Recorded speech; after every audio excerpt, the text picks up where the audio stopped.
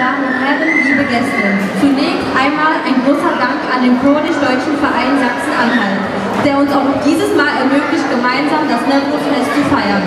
Am 21. März feiert das kurdische Volk alljährlich Newroz.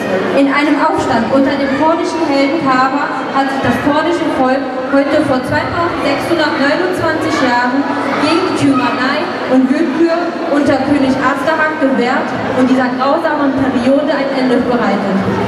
Somit symbolisiert Nevros den Widerstand gegen die Unterdrückung des kurdischen Volkes und stellt die Hoffnungen auf einen Neuanfang dar. Wir Kurden wurden und werden noch heute durch unterschiedlich viele Varianten von zahlreichen Fronten unterdrückt und bekämpft. So bekämpfen sie uns auf intellektuelle und kulturelle Art und Weise. Diese Art der Bekämpfung stellt die gravierendste Für die Vergangenheit, Gegenwart und Zukunft dar.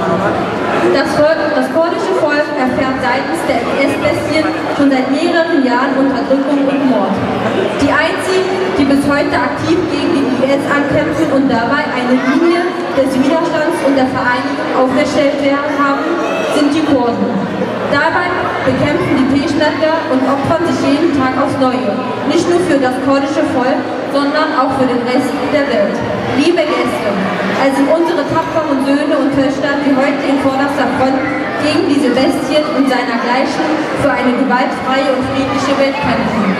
Die Peschmerga haben bis heute durch die Unterstützung des Präsidenten der autonomen Region Kurdistan, Mesut Barzani, schon viele Gebiete zurückerobert und zahlreiche IS-Kämpfer erfolgreich bekämpft, jedoch nicht ganz ausschalten können. Das liegt daran, dass viele radikale Gruppierungen in Staaten gibt, welche das Entstehen eines kurdischen Volkes mit aller Macht verhindern wollen.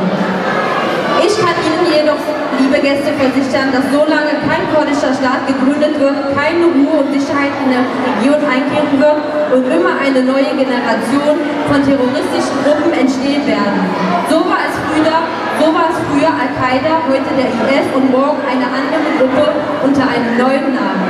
Deswegen ist es von großer Notwendigkeit, dass das kurdische Volk auch weiterhin und noch verstärkt auf direktem Weg Unterstützung von der Weltgemeinschaft erfährt, um einen endgültigen Sieg gegen die IS sicherzustellen und vor allem hinter der Gründung eines kurdischen Staates zu stehen.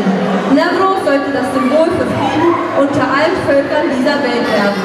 Kriege und Auseinandersetzungen hat für niemanden Sieg bedeutet, da Krieg immer Nachteile mit sich bringt.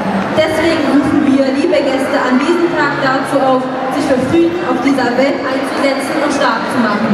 Ich bedanke mich vielmals für Ihre Aufmerksamkeit.